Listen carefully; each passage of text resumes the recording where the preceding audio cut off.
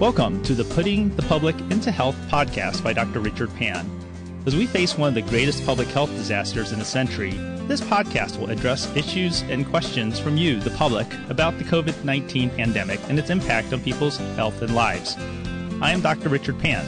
I'm a physician with a background in public health, and I'm proud to represent the people of Sacramento, Elk Grove, West Sacramento, and parts of Sacramento County in the California State Senate. I want to share with you important information and stories to help each other during this difficult time. I've received many questions about testing for COVID 19, so on this podcast, we'll be talking about COVID 19 tests and what they tell us. I am pleased to have Dr. Nam Tran with me. Dr. Tran is Director of Clinical Chemistry, Special Chemistry, Toxicology, Point of Care Testing, and Specimen and Reporting Center, and Associate Clinical Professor at UC Davis. He is also a member of the Governor's Task Force on COVID 19 testing. Thank you so much for joining me, Dr. Tran. Well, thank you very much, Dr. Pan. Really appreciate being on this uh, uh, podcast. Thank you. So, Dr. Tran, how are you involved in COVID 19 testing at UC Davis? Uh, uh, quite a lot, actually. So um, I also serve as senior director for clinical pathology in addition to those other uh, directorships, and that pretty much means we oversee um, the entire clinical lab services. And with COVID-19, um, there's more than just uh, testing for the virus itself. It's looking for the antibody response for our immunity. There's also just the everyday management of these sick patients, right? So all those lab services report to me, and that coordinated effort is pretty much under my umbrella. And you know, helping bring up the test, the new test, keeping the old test going, and ensuring we're projecting forward to meet the needs of our community. Fantastic. So you must. Uh be involved with all sorts of different types of tests. We hear about different types of tests on the news. So, can you tell me about the different kinds of tests? I mean, we've heard about PCR, serology. So, what are these different tests and what can they tell us? Sure. The, the, for COVID-19, it really breaks down to two realms. Uh, something we call molecular testing. The other we call immunoassays. Molecular is what was in the media for probably the last uh, couple months, and that's where we look at the genetic makeup of the virus to detect it. And in this case, the virus is an RNA virus, so we use a technique that amplifies that genetic material so we can measure it. And uh, typically, this is um, using a process called polymerase chain reaction or PCR. And the majority of tests today are PCR based. And so we were tasked to uh, bring up um, our own assays as well as validate other assays that are out there to be able to deploy. So the FDA regulates us on who can and can't run testing and also what you need to do to deploy testing. And so after February 29th, we were allowed by the FDA, academic hospitals that is, and other places to bring in our own tests. Some of these could be homebrew, uh, meaning that we made invented it up ourselves. And, or these are tests that have received emergency use authorization. And at Davis, uh, we brought the emergency use authorization test first, but we had options to be able to bring in our homebrew tests, as we've heard in the media. Uh, the immunoassays are the other end. Mm-hmm. And uh, that's these are assays that we use um, antibodies that we've designed to detect other things, and these could be other antibodies, and that is antibodies that we produce ourselves uh, in hopes of having immunity against the virus. Uh, these assays can also work to detect the virus itself, but right now there aren't any available tests for that. They may not be as effective as PCR and molecular tests, but a lot of the media has now covered uh, the topic of serology testing, and immunoassays are used for that. And in this case, we have tests that detect the various types of antibodies we produce uh, after exposure to COVID-19. And that's our hope that as we measure this, we learn how widespread the disease is because we know that there are patients out there that have been exposed, but they don't get sick or they may not notice, um, in addition to those that do get sick. And we want to see how well their response is, and of course, if that confers immunity. Mm-hmm. So uh, certainly people are very excited about serology testing. The hope is is that if you have a positive serology, you are safe. Is that true? I think the jury's still out on that one, and I, and I understand everyone's hopes are on that, but we have to kind of look at it from um, three different perspectives. The first perspective, which is now starting to creep out into the media, is that not all these tests are perfect, and all these tests are potentially good for use. Uh, I've seen some stories already that certain countries have bought millions of these tests and realized they were not that good, and they want their money back. Um, the second issue is that we have to address that these tests, even though they measure our antibodies, not all antibodies produced after exposure to COVID-19 confers immunity. These are uh, what we call neutralizing antibodies, and if the antibody uh, that we produce blocks the virus from entry into our own cells, that should help with immunity. But if it's just an antibody that binds to places that don't inhibit a virus to invade our body, then that may not be as helpful as we would want. The third reason is that um, uh, this is more of a statistical consideration. I don't want to belabor the listeners on, on too much of the math, but we don't know how widespread this virus is, and that actually affects how well these tests work the prevalence of disease, the higher the prevalence, the better these tests are at predicting that you do have immunity if you have a positive result on a serology test. Right now, we don't know what the prevalence is, and it could be 5%, it could be 10%, it could be even more, and we don't know that yet. But there's a benefit to having a serology test because then we can capture that prevalence rate by knowing how many people have been exposed, and then we can backtrack to determine how well these tests work. And that's why it's so important to get these tests out there, and more specifically, good tests out there uh, to assess the prevalence. So, I mean, as you said, the uh, we're not sure when we test these antibodies what kind of antibodies we're testing. So, what do we still need to do to figure that out? How long is it going to be before we can say, okay, we have a test that'll tell you that you're still that you're actually immune? I think it's going to be fast. Um, there are tests coming out uh, as we as we've seen, and the good tests uh, that I, we've seen based on data, and we don't really, um, you know, we, we, we base our assessments on the science, right? The mm-hmm. science that comes from these manufacturers. Even today, there's a test that's being brought out. My understanding is it has a very what's called high sensitivity and specificity. That's one option right there. And I know there are forthcoming tests in the coming days and weeks, and that's that's actually really fast. I just want to put that into context. Um, that can perhaps look at neutralizing antibodies. So these are things that are coming up soon. The key after that is how many places have these instruments that can perform the test and how fast we could get reagents, the testing uh, chemicals out to these places to perform testing. And then, of course, last but certainly not least, how we can allow citizens in the state of California, of course, in the nation, to gain access to testing, so accessibility. So I think in the coming weeks, uh, we're going to see a large um, surge in serology testing and improving our understanding of how uh, prevalent this disease is and perhaps a better understanding of how immune we are too. Okay, and you made reference to uh, uh, sort of the restrictions on testing. There's been some news reports actually, as even as we're talking about we need to do more testing. There's actually capacity out there that isn't being used. So, uh, who actually should get tested, and uh, are we being too restrictive on who's getting the tests? I, I think, and that's a great question. And I, I think if you ask uh, every person out there, everyone would like to be tested if they feel like it, right? But there's mm-hmm. challenges to that, and I think there's still a, um, uh, a method to uh, still having some level of prioritization. Obviously, many institutions are starting to loosen the the, the, the restrictions just because as you said, the um, capacity has significantly increased. But we have to temper that a little bit because there is still a shortage on reagents, and there still is a shortage on even something more important right now, which are the swabs and the media. And the media is the kind of the preservative we would use to put the swab in. And there's a shortage of that. Um, I'll use an example. These aren't numbers from UC Davis, but you know, let's just say we have the capacity to do 1,000 tests a day. That sounds great, and a lot of places do have that capacity. At Davis, we could all go all the way up to even higher than that if we had to, with you know, without uh, limitations on the supplies. Um, with that said, if you only have 2,000 swabs in media, you're only going to be able to run for two days, and that's it, right? So there still has to be some prioritization just because we do want to make sure that those that get tested are the ones that can change some sort of outcome, meaning that we're going to help this patient who's very sick. It's going to help ensure that we protect our healthcare workers, who in turn also pr- allows us to protect other patients in hospital and healthcare settings. Mm-hmm. So, uh, you talked about some of the uh, exciting things happening with testing. So, what does that mean for UC Davis? Is this something that UC Davis is working on, or would we be able to do those tests at UC Davis if they were invented somewhere else? How does this all work? Oh yeah, no, this, it, it, brings it together. It's always this you know, public-private partnership that we've always um, um, had with many, you know, both industry, academia, other scientists, and of course members of the community.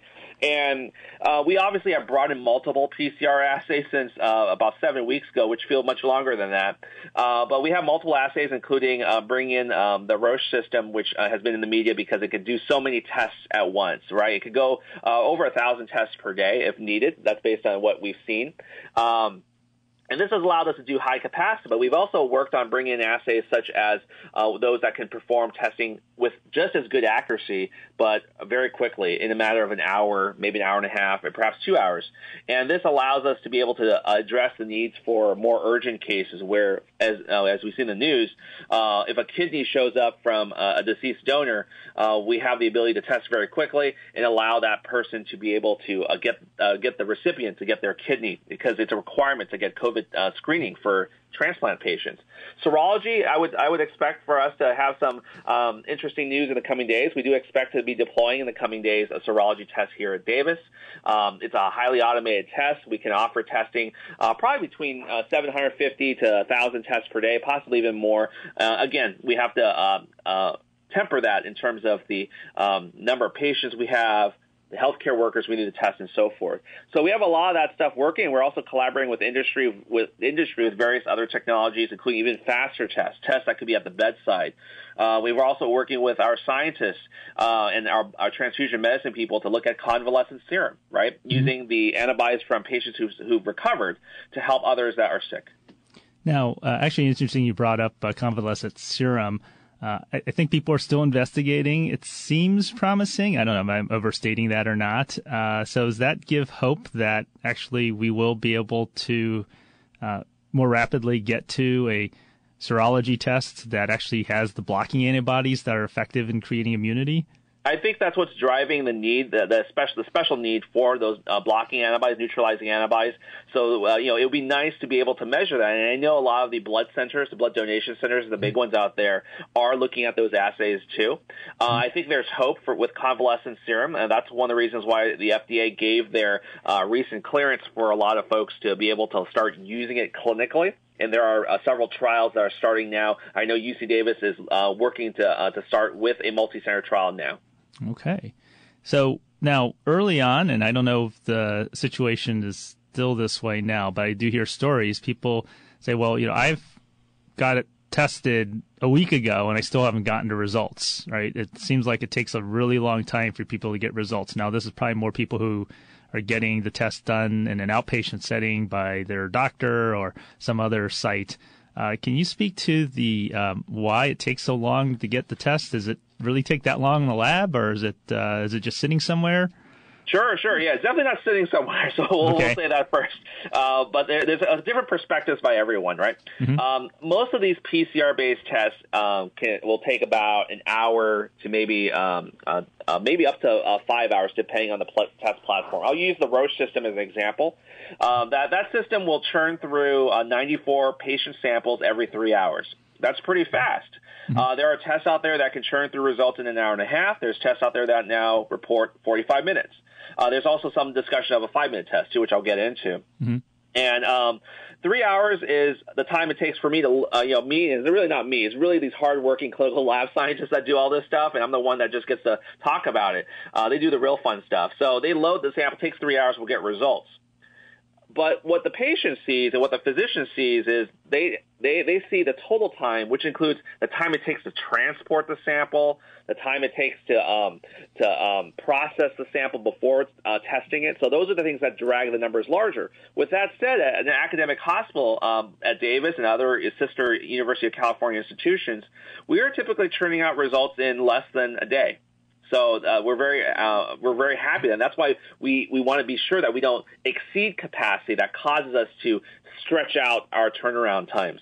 Where we have seen longer, longer turnaround times with commercial labs is because they were inundated uh, with um, samples. And I believe at one point, uh, one commercial lab had a backlog of 160,000 tests, if you can imagine. Wow. And so, uh, and plus these commercial labs, they're they're not numerous necessarily, at least right now with their ability to test.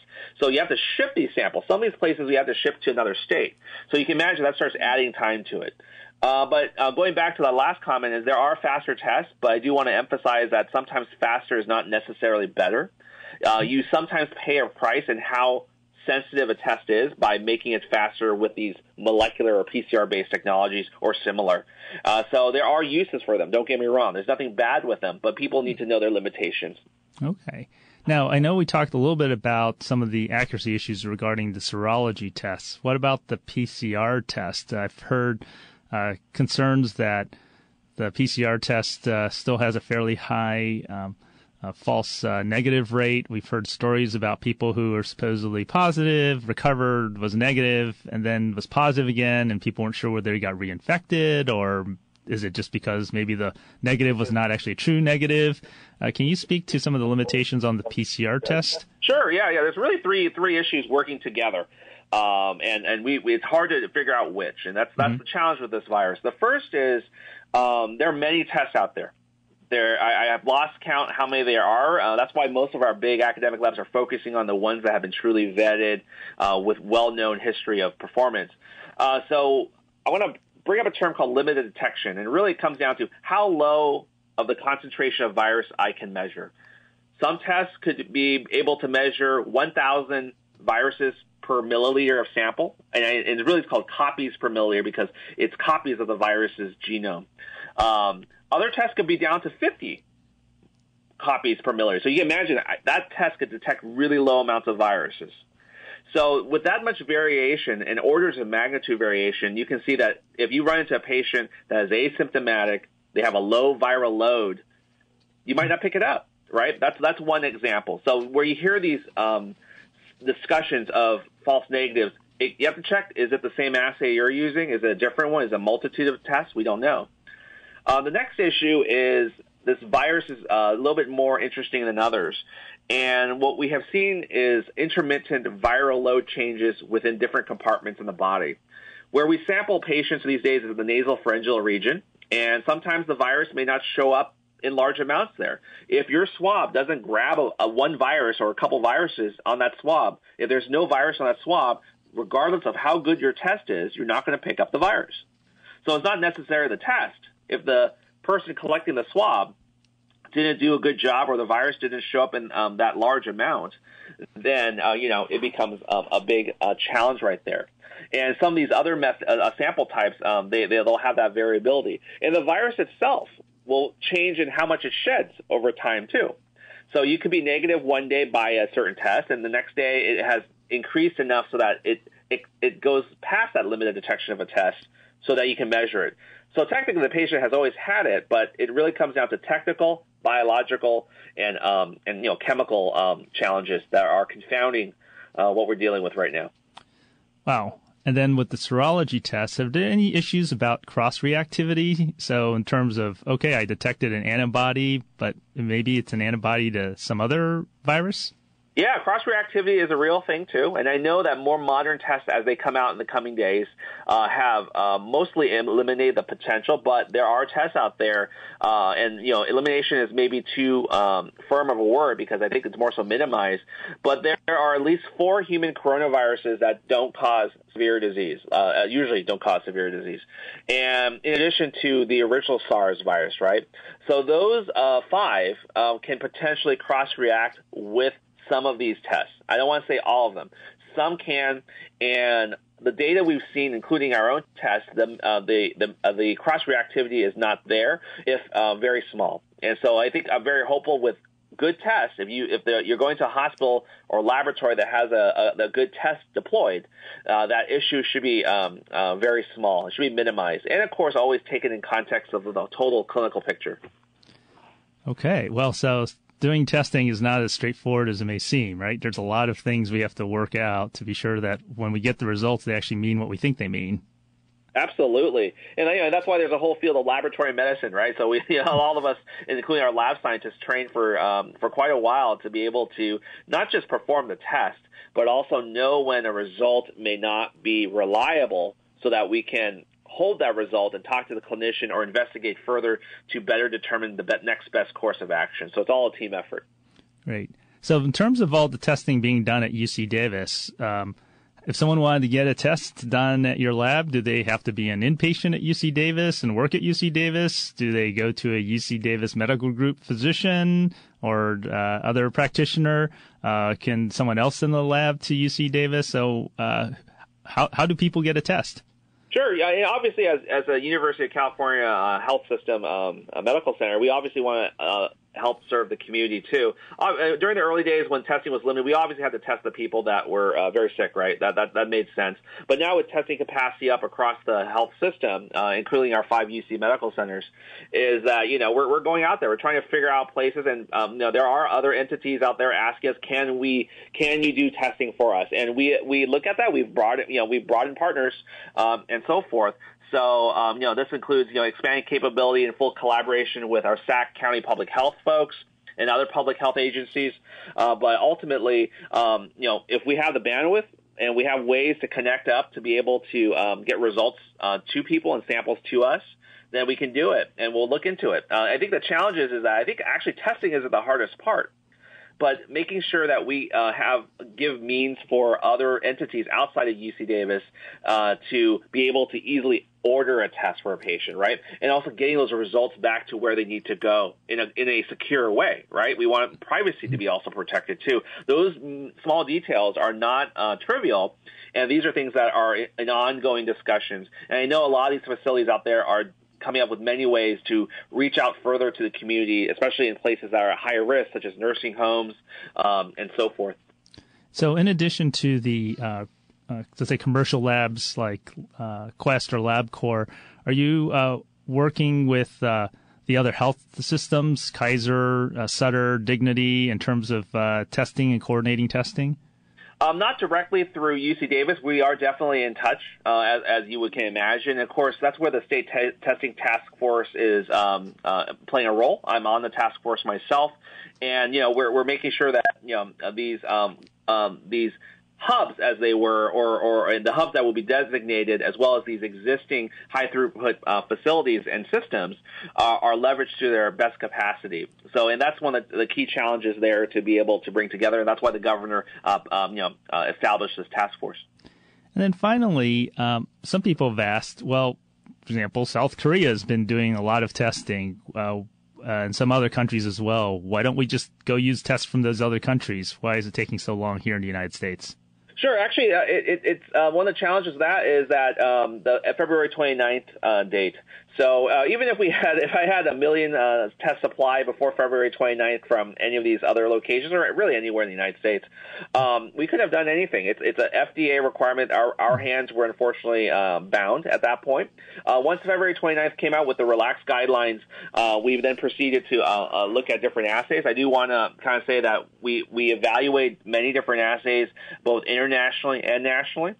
And um, and as you can imagine, I know some of the international tests. I'm not saying it's the Korea one, but I know some from the Chinese literature. They themselves had a 30% false negative rate, and these were tests based on early um, primer and probe designs that are needed for PCR. So we did that assessment for that. So this is one of those key challenges of after February 29th. Do hospitals come up with their own home brew? Do they ship stuff in from other countries and have to still bring up the test? Uh, under FDA requirements and, and at risk possibly not meeting the FDA criteria to deploy that test? Or do we go with a test that has received that stamp from FDA that is emergency use authorized? Not every hospital is like an academic hospital where we could bring in our own home brew or, or do an extensive validation to bring up. So I guarantee you that most hospitals out there went with those emergency use authorized tests, which unfortunately went into short supply. And that's why UC Davis went with a three pronged strategy where we looked at those emergency use authorized tests, but also had that backup to bring in our own test too. Fantastic. Well, thank you so very much, Dr. Tran, and uh, really appreciate you joining me on this podcast. And I also want to thank you, the listener, for listening to this episode of Putting the Public into Health by Dr. Richard Pan. If you have questions or ideas for future podcasts, please email them to senator.pan at senate.ca.gov. Please stay home as much as possible. Stay at least six feet away from others outside. Wash your hands frequently and try not to touch your face. Together, we are slowing the spread of the disease and saving lives. Thank you so much for listening.